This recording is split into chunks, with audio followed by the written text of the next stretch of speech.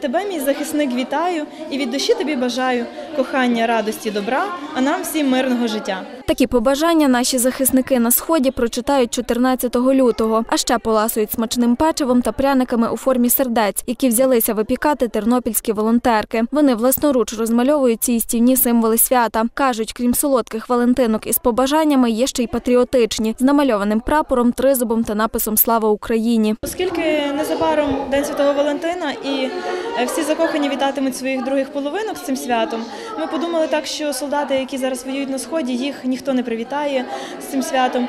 І захотіли з дівчатами е, створити таку акцію, як е, випікання валентинок, солодких печива чи пряників в формі сердечок.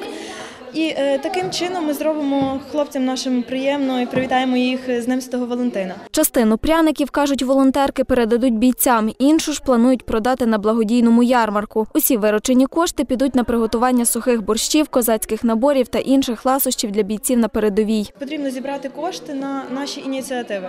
Зокрема, ми е, робимо сухі борщі. Е, Та набори козацькі з сала, хліба та чеснику. Е, Для, для цього у нас йде кожного тижня дуже багато е, коштів, по дві тисячі і навіть більше, залежно від того, скільки ми зробимо цих наборів.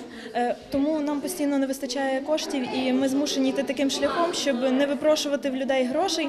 Ми будемо продавати ці пряники, які випікаємо з власним коштом. Придбати такі валентинки можна буде на ярмарку у п'ятницю та суботу, 13 та 14 лютого у торгово-розважальних центрах міста з 15 до 18 години.